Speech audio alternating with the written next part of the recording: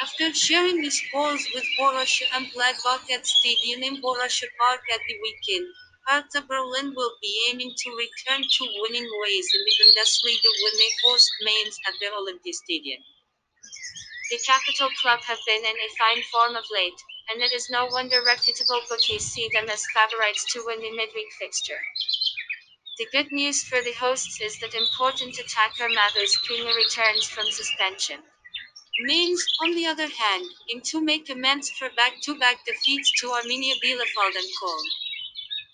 Die have been struggling in the German top flight this season, and seeing that Hertha are a real force to be reckoned with at home, we predict that the visitors are going to return to Mainz empty-handed.